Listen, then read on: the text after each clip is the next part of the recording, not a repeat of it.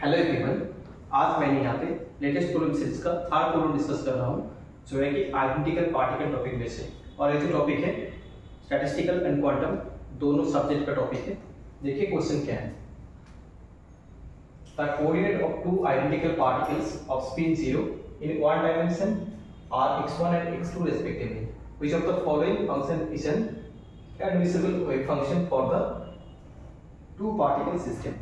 तो देखिए इस क्वेश्चन करने से पहले जो है, थोड़ा सा जो इसका जो कॉन्सेप्ट है, वो पहले देख लेते हैं।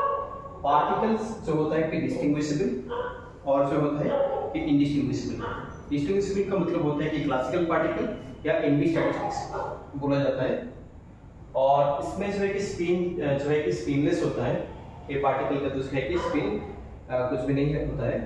बट इनडिस्टिंग्विशिबल पार्टिकल जो है कि एक्चुअली क्वांटम स्टैटिस्टिक्स होता है। और इसमें दोनों टाइप होता है, कि एक है कि बोसोन और एक जो है कि फर्मियन बोसोन का जो है कि स्पिन जो होता है इंटीजर फर्मियन का जो स्पिन होता है हाफ़ इंटीजर जैसे spin electron half three by two ऐसे होता है, ठीक है?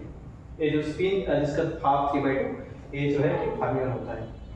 और एक चीज़ इस क्वेश्चन को सॉल्व करने के लिए चाहिए, जो वेव फ़ंक्शन होता है एक्चुअली बोसोन के लिए सिमेट्रिक होता है एंड फर्मियन के लिए जो होता है कि एंटी सिमेट्रिक तो अभी देखिए क्वेश्चन में जो बोला जा रहा है पार्टिकल का जो स्पिन ज़ीरो है बट यहाँ पे बोला गया है कि आइडेंटिकल पार्टिकल है। तभी से जो पार्टिकल है क्वांटम पार्टिकल है। स्पिन क्या है कि ज़ीरो दैट स्पिन है। दैट ये जो पार्टिकल है बोसोन है। ठीक है? तो बोसोन का जो वेव फ़ंक्शन होता है सिमेट्रिक होता है। तो यहाँ पे दो पार्टिकल जो है कि बोसोन है, उसका जो कॉम्बाइंड जो वेव फ़ंक्शन आएगा या दो पार्टिकल मिलकर जो, सिस्टम हो रहा है उसका भी जो वेव फ़ंक्शन होगा सिमेट्रिक होगा ठीक है? तो इसलिए इस क्वेश्चन में जस्ट आपका जो है कि ऑप्शन जो चार गिवन है इसमें ऑप्शन टेस्ट करके आपको लेके आना है कि किसमें एक्चुअली जो वेव फ़ंक्शन गिवन है ना टू पार्टिकल के लिए तो वो सिमेट्रिक कॉन्सेप्ट में आ रहा है।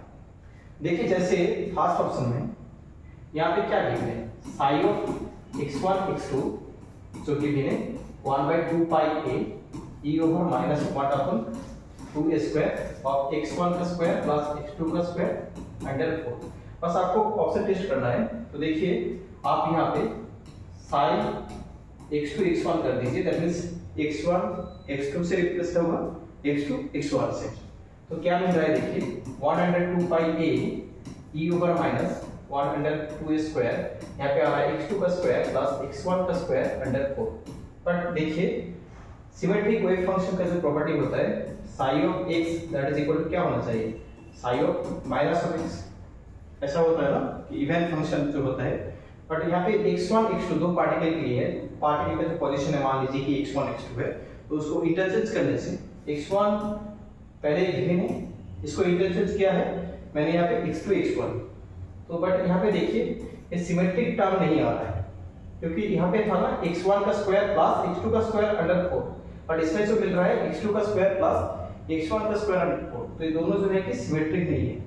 तो दैट मींस ये जो ऑप्शन है, ये नहीं होगा। बोसोन का जो है कि ऑलवेज जो है कि वेव फ़ंक्शन क्या होता है? सिमेट्रिक होता है। तो इसलिए दो बोसोन का भी जो कंबाइंड सिस्टम है, उसका भी वेव फ़ंक्शन सिमेट्रिक होना चाहिए।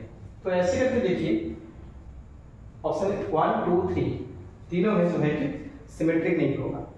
बट इसमें देखिए ऑप्शन फोर में क्या है कि साइन ऑफ़ x1 x2 जो है that is equal to 1 upon 21 pi a cube x1 minus x2 का whole square minus sorry e over minus one hundred two square X one का स्क्वायर प्लस एक्स टू का square तो इसमें देखिए क्या है कि आप यहाँ पे इंटरचेंज करिए एक्स के रिप्लेस में एक्स टू एक्स टू के रिप्लेस में एक्स वन तो क्या मिल रहा है कि एक्स टू एक्स वन करने से जो आ रहा है वन हंड्रेड ट्वेंटी ए और इसमें जो है X two minus X one का होल स्क्वायर आ रहा है।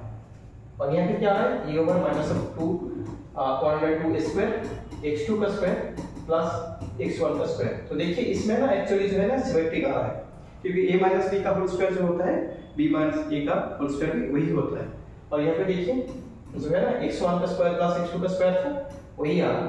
तो इसलिए ऑप्शन टेस्ट करने से जो सिमेट्रिक हो रहा है, जो ये फ़ंक्शन सिमेट्रिक हो रहा है तो वो जो है ऑप्शन फोर है तो इसलिए इसका जो राइट ऑप्शन है ऑप्शन फोर थैंक यू